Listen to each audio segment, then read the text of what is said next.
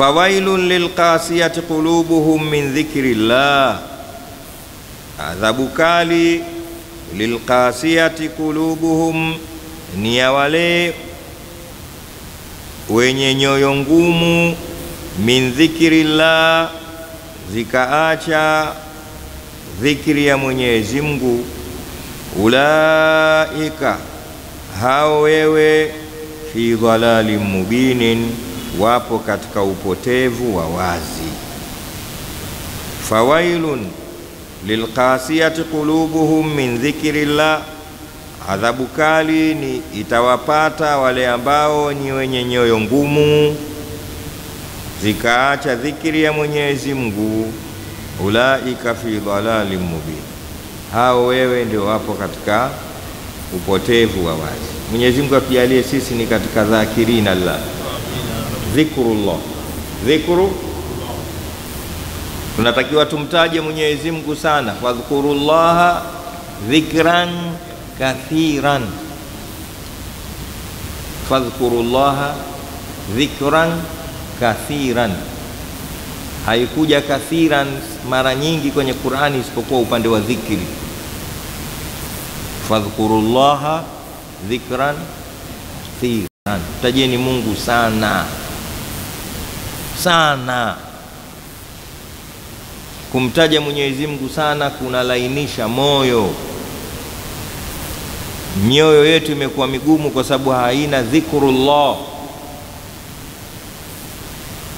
kumtaja Mwenyezi Mungu kwa ulimi na moyo upokee hilo. Tena dhikrullah ni katika kila unachokiona na kila unachokisikia na kila unachokifanya. Dhikrullah, taje Mwenyezi Mungu. Ukimwona mtu mkumbuke Mwenyezi Mungu. Kuna kisa maarufu mara kwa mara hukieleza wenzetu walifikia pahala katika dhikrullah katika hali ya juu sana. Aliwahi kupita mtu mmoja pahala, akamkuta mtoto mdogo akilia, mtoto mchanga analia kwa kelele, naye akalia. Watu wakamshangaa. Mtu mzima badala ya kumbembeleza huyu mwana akaacha kulia, we naye unalia. Umeishiwa mipango kabisa ya kumnyamazisha huyu mtoto eh? Akasema hapana, mimi hamnielewi tu. Kilio chake huyu mtoto kimenikumbusha kilio changu siku ya Kiyama.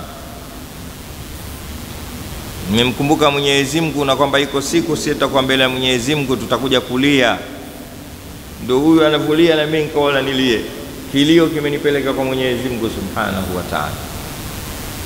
Mmenielewa?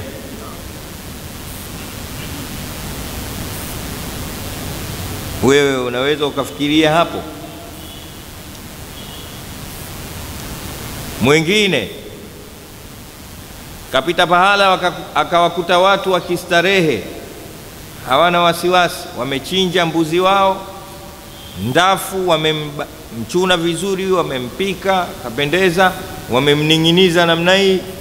Pembeni wana vinywaji vyao, kila mmoja ana uma na kisu chake, anakwenda taratibu pale, anakata kinofu, anakaa katika kiti chake, anatandika, anakula. Watu wanastarehe, wanakula. Kulu washrabu eh? wal an'ama khalaqaha lakum Mungu anasema na wanyama tumekumbieni nyie hawa muwale. Wal an'ama khalaqaha lakum, wanakula. Huyu bwana kufika pale kakita kilio, akaanza kulia lia kwelikweli, kweli, mpaka wengine wakasema, acha bwana, unalia nini? Kwani umetuumba tukakunyima? Si utuambie kama unataka ule na wewe, huna lugha ya kutuambia isipokuwa kilio. Akawambia, hapana, mi sililii hivyo, sililii nyama, isipokuwa huyu kanikumbusha mbali, huyu nyama, huyu huyu kabanikwa, ameunguzwa baada ya kuwa amekufa. Sisi kuna hatari ya kuingia motoni tukiwa tuki hai, ndio nalia mimi. Mmenielewa vizuri? Fadhkurullaha dhikran kathira. Alam yani lilladhina amanu an takhshaa qulubuhum lidhikri llah wama nazala min alhaq walam yakun walam yakunu sijui kalladhina utul kitaba min qablihim fakasat fatala alaihim lamadu fakasat qulubuhum Allahu yaftahu alaihim alam yani lilladhina amanu an takhshaa qulubuhum lidhikri llah, Mwenyezi Mungu anasema hivi, haujafika wakati kwa waumini zikanyenyekea nyoyo zao lidhikri llah, kwa ajili ya dhikrullah, kwa ajili ya kumkumbuka na kumtaja Mwenyezi Mungu? Na yale ambayo kwamba ameteremshiwa katika mambo ya kheri, na wala wasiwe kama wale ambao kwamba walipewa kitabu kabla yao, fatala alaihimul amadu muda ukawa mrefu, fakasat kulubuhum, nyoyo zao zikawa ngumu. Mmenielewa vizuri?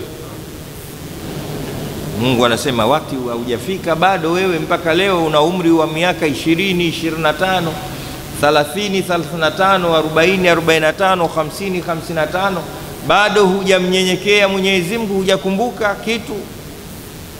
Mwenyezi Mungu atukinge na ghafla hiyo. Watu wapo katika ghafla kubwa ya dhikrullah, kila mmoja amemsahau Mwenyezi Mungu, anafanya anavyoona yeye, mambo yake ni yeye, mipango yake ni yeye, hampi Mwenyezi Mungu nafasi hata katiti, hata ndogo hivi. Msikilize Mtume Muhammad sallallahu alaihi wasallam katika kile kitendo chake cha kufunga sana mwezi wa Shaabani, wakeze wanamuuliza hatuja kuonapo wewe ukifunga sana kuliko unavyofunga mwezi wa Shaabani, vipi ya Rasulullah? Akasema dhalika shahrun yaghfulu nasu anhu, nafunga kwa sababu mwezi huu watu wameusahau sana. Dhikrullah, hii ni dhikrullah, watu wamejisahau, basi mimi nautumia mwezi huu. Katika hadithi nyingine Mtume Muhammad sallallahu alaihi wasallam anasema inna Allaha la yadhaku mimman yadhkuru llaha fi suqi, Mwenyezi Mungu anafurahi mpaka anacheka. Anachekeshwa na nini na afurahishwa na kitu gani? Kwa yule anayemtaja Mwenyezi Mungu sokoni. Wapi? Maanake watu wameingia sokoni, kila mmoja anahangaika na mambo yake, huyu mboga, huyu samaki, huyu mchicha, huyu mchele, huyu sijui miogo, huyu viazi huyu anauza, huyu ananunua, yule anamtukania mwenziwe mama yake kwa sababu ya biashara, huyu anagombana na dalali. Lakini kuna mtu yuko pale sema la ilaha illa anta subhanaka inni kuntu minadh-dhalimin, la ilaha, ashughulishwi na mchicha wala biringanya wala kitunguu, yadhkuru llaha fi suqi. Mungu anasema inna Allah, mtume anasema inna Allah la yadhaku min hadha, Mwenyezi Mungu anamfurahia sana. Kwa nini? Kwa sababu ule ni waktu yani makanul ghafla. Na wewe chukua nafasi kama hiyo, katikati ya jambo, watu wanashughulishwa na jambo, wewe mtaje Allah subhanahu wa ta'ala. Mmenielewa vizuri? Mtu mmoja alikutwa katika magharibi na isha, yeye. Akishamaliza kuswali atoki. Na tasbihi yake, japokuwa watu tasbihi hawataki, sijui akina nani hapa kuna watu ambao kushika tasbihi tena ndio shakufa kafiri. Ah, wewe umezidi tena, unaugawa ukafiri namna hii. Tupe hela basi hivyo hivyo kama unavogawa ukafiri. Mambo mengine yanatia uchungu kidogo. Mtu kamaliza kuswali magharibi, akainuka akaswali rakaa zake mbili, akakaa chini akawakimsabili. Wakauza, vipi wewe? Akasema dhaka waktul ghafla, dhaka waktul ghafla, kwa sababu huu ndio wakati wa kughafilika. Watu wengi wanaghafilika na mambo yao, wanashughulishwa. Kwa hiyo mimi natumia nafasi hii. Mwenyezi Mungu atujalie katika hao. Na wewe tafuta waktul ghafla wa makanul ghafla, fadhkuru llaha dhikran kathira, mtaje sana Mwenyezi Mungu hapo. Mungu anapenda sana. Mmenielewa vizuri eh? Haya, tumtajeni sana Mwenyezi Mungu. Kuna wenzetu walimtaja Mwenyezi Mungu mpaka wakawa na maneno wakiyasema wewe uyaelewi. eh, wanasema maneno unaweza eh, maneno gani haya? Neno kumbe ni dhikr. Oh, ha, oh, ha, oh, oh. Kamta, wewe usipate, usipate tabu nini wewe wewe nini usipate tabu wewe ndio anamtaja Mungu yule anakoa akowi kwa mipango yako wewe ndio anakoa kwani kila maneno ni yako nilisema pahala juzi tatizo letu sisi kila maneno mtu anataka yawe yake ayaelewe. Wewe unaweza kuelewa kichina? Mbona upigi kelele? Ukimsikia mchina anavyo yako. Mbona ulalamiki sio kila maneno ni yako. Huyu mursalini na kicharuka na kirangi chake hapa wenyewe takimbia maanake hakuna lugha yenye ree nyingi kama kirangi ree tele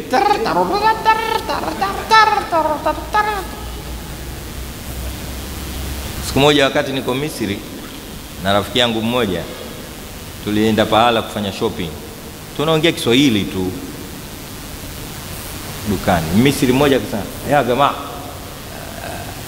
takallamu larabia mi nikamgeukia nikaambia we nini? Kwa kiarabu sake, mimi nikiongea kiarabu wewe usikii. Ana ambia wallah huelewi kiarabu. Sema niseme kimisri na mimi kimisri sijui. Amile zayak. Da baulake ye ya am irfadhal ba. Mi sijui kicho najua kiarabu. Kwa wacha tuzungumze lugha yetu. Unajua alisema wallahi lughatukum lughatu tuyur sasa lugha yenu nyewe lugha ya na mimi nikamgeukia wa lughatukum lughatul abqar. Lugha yenu nyewe lugha ya ng'ombe. Basi ugomvi ukawa mkubwa sana akina kaka kwa nini kajiingiza katika lisilomhusu man waqaa au dakhala nafsahu fi ma la yaanihi lakia ma la yardhihi. Mwenye kuingiza nafsi yake katika kisichomuhusu atakumbana na yasiyomridhi kwa ukiona jambo hili alikuhusu kaa kimya waachie wenyewe wafanye kwa hiyo wale wanaomdhikuru mungu mpaka ah. eh? eh. mtumeelewana vizuri eh? basi mtajeni mungu hata kwa lugha zenu mwenyezi mungu ana tabu bwana kwa hiyo kuna watu msikilize huyu Ibrahimul Adham anasema maneno wewe anaweza kukushangaza anasema wallahu a'lamu anni lastu adhkuruhu fakaifa adhkuruhu wa anni lastu ansahu. Sallu ala nabi. Nasema wallahu a'lamu anni lastu adhkuruhu. Mungu mwenyewe anajua kama mimi simdhukuru. Watu wakastuka fakaifa adhkuruhu wa anni lastu ansahu. Vipi ni mdhukuru wakati mimi sijamsahau? Siku zote anayekumbukwa ni mtu ambaye alipatikana fatra alisahauliwa kuna watu hawakuwahi kumsahau mwenyezi mungu walau lahdhatan hata dakika hii. Moja masaa yote yupo kwa mwenyezi mungu subhanahu wa taala. Hawa ndio waliowaona mtume muhammadin sallallahu alaihi wasallam katika safari yake ya isra wal miraj. Alimwona mtu yuko katikati kati ya fadhaa ya dunia na mbingu akitembea katika mwendo hata malaika hawaupati. Akamuuliza jibril alaihi salam huu ni mfano gani? Akasema hadha rajulun min ummatik. Huyu ni mtu katika watu wako huyu. Alikuwa na mambo matatu. Alikuwa na mambo matatu ndo akapata daraja ile.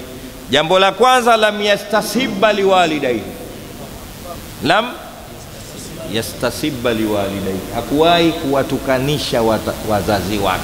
Mona sini hiyo? Sini ya talabu hiyo. Lam yastasiba lisini listifaali jamaani litalabin sairuratin wijdani salu ala nabi. Lam yastasiba mtume alikuwa fasaha. Yani hakuwahi kusababisha wazazi wake wakatukanwa kwa sababu yake yeye. Unajua maanake? Haikufikia hapo hata siku moja watu wakajiuliza kuhusiana na yeye. Mtoto wa nani huyu? Yani kafanya jambo la kituko jamii ikamshangaa kwani huyu mtoto wa nani haijawahi kutokea hiyo mnanitizama au mnaniona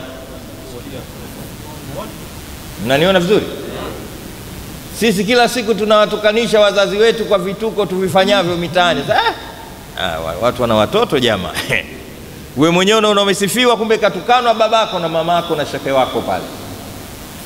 Kwani mtoto wa nani? Mbaya ile. Una, watu wanajiuliza wewe mtoto wa nani, na wewe unachekacheka tu. Wewe huwezi kupata daraja ya juu. Mwenyezi Mungu atukinge na hilo.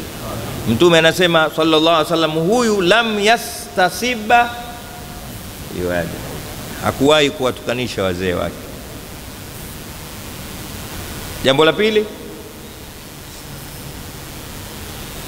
wakana lisanuhu ratban lidhikrillah, na ulikuwa ulimi wake ni mbichi mlaini mteke mteke, lidhikrullah, kwa ajili ya kumtaja Mwenyezi Mungu subhanahu wa taala kila wakati, kila wakati la ilaha illa Allah la ilaha illa Allah la ilaha illa Allah la ilaha illa Allah la ilaha illa Allah la ilaha illa Allah.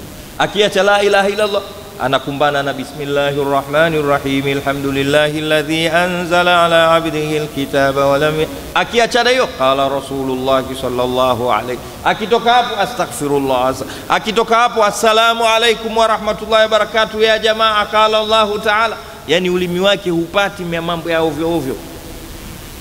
Kana lisanuhu ratban lidhikrillah, ulimi wake ulikuwa mbichi kwa ajili ya kumtaja Allah subhanahu wa ta'ala. Hilo jambo la ngapi? La pili. Wala tatu, wa kana qalbuhu muallaqan bil masajidi, bil masajidi. Kana qalbuhu, ulikuwa moyo wake muallaqan bil masajidi, umefungamana na misikiti. Sio kwamba alikuwa atoki msikitini, la kalla, ilikuwa yeye wakati wote moyo wake na jazba yake na mapenzi yake anawaza misikiti. Huvi msikitini kwangu kukoje pale hivi, auvuji msikiti? Msikiti una maji, madirisha yakoje? Angojei mursalina aseme tunataka rangi. Kana lisanuhu ratban siku zote anataka amani ya misikiti. Imamu wake msikitini anakula nini, anakaa wapi, anavaa nini, hambugudhi. Leo nimepokea kesi tatu za maimamu kufukuzwa misikitini. Kamati inamfukuza imamu. Misikiti tunayoishi sisi ni balaa, tuombeeni Mungu. Misikiti ya zamani imamu alikuwa na uwezo wa kumwambia mtu wewe usiswali hapa lakini sasa hivi imamu wapi apate kauli hiyo? Maamuma mmoja ambaye bwana hatukutaki. Siku moja kilimkuta kituko imamu wangu mursalina hapa. Kuna mtu mmoja alipata uchizi mpya. Unajua uchizi mpya? Uchizi bikra ule. Ndio kwanza uchizi ule unakuwa 50-50, ujulikani mwehu au chepe. Unajua kuna chepe na mwehu, kwa unakuwa 50-50 Kagera huko kwa kina huyu. Alipata wazimu mpya, ikawa anakimbia ovyo. Mpya maskini, lakini ikachomekea yule mtu na shati lake bluu bahari. Na suruali yake dark blue. Mzuri, ukimwona mustarifu ala annahu majnunun, huwezi kujua kama huyu mwehu. Ndugu zake wanamfukuza sasa, kwa bakti nzuri kaja taratibu taratibu, kaingia msikitini. Msikiti huu huu ushajengwa huko. Imam Mursalina anaswalisha alasiri, swala alasiri, mwenye imamu anaswalisha chizi yule kaja tap, akaunga naye swafu.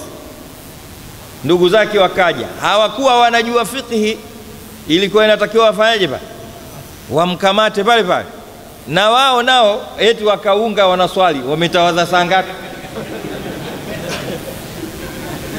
Kuna vituko, msicheke. Fikhi inataka yule afanyaje? Sababu kishatulia, tia kamba, tia kwenye gari, waende naye. Nao wavona ngoma imeingia msikitini, wakasema alhamdulillah, Allahu akbar. Aina tawadhau, umetawadha lini hao? Wakaswali. Sasa kwa bahati mbaya au nzuri, ile rakaa walounga ilikuwa ya mwisho, wale walikuwa maamum masbuk. Mmenielewa vizuri eh? Imamu kukaa chini, tahiyatu tahiyatu, salamu salamu. La inatakiwaje? Wale waliokuja mwisho wasimame, wale wamesimama, chizi katoa salamu. Umeona hapa hapa, hiyo sio habari ya kufikirika. Mimi nimo humu humu, eh, mimi niko kule. Sasa sikiliza kilichotokea kutoka pale. Yule mwenda wazimu yule anakuja huku kwa Imamu Mursalina, kapita hapa, nyie hivyo, huyo alioswalisha imamu hasa huyo? Anauliza mwehu, imamu huyo mnamwamini huyo imamu huyo, yuko sawa sawa huyo?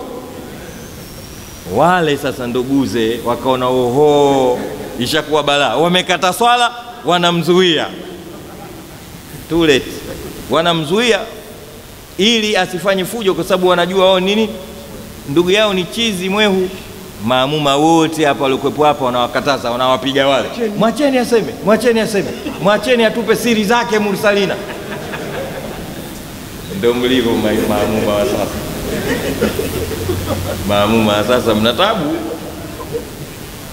mwacheni, mwacheni. Mmoja alipigwa ngumi kabisa, jama, ndugu yetu kichaa. Kichaa gani? Kaswali mtu kapendeza huyu mpaka nkatokea mimi nikalisawazisha lile jambo na nini, alhamdulillah. Hatari sana. Sasa yule alioonwa na Mtume Muhammad sallallahu alaihi wasallam, anasema alikuwa na mambo mangapi? Matatu. La kwanza eh, lam yastasiba liwalidai, wala pili wakana lisanuhu ratban lidhikrillah, na la tatu wakana kalbuhu muallaqan bil masajid, moyo wake ulikuwa umefungamana na nini? Na misikiti. Kitu kama kile alikuwa angeona ni aibu, kitu kama kile angeona sasa msikiti unatetereka, kitu kama namna hii. yani mtu akiingia msikitini anajua ameingia wapi, heshima yake inakuwa zaidi, na hata akiondoka akiwa nyumbani, akili yake ni msikiti anaoswali na misikiti mingine yoyote, sio mbinu za ngumi na magomvi misikitini. Maendeleo anataka yaanzie msikitini, mipango mizuri ianzie msikitini, fawaid na, na natija zipatikane msikitini. Yule ndo akapata dada ile. Mwenyezi Mungu nasi atuzindue sawa sawa. Fadhkurullaha dhikran kathira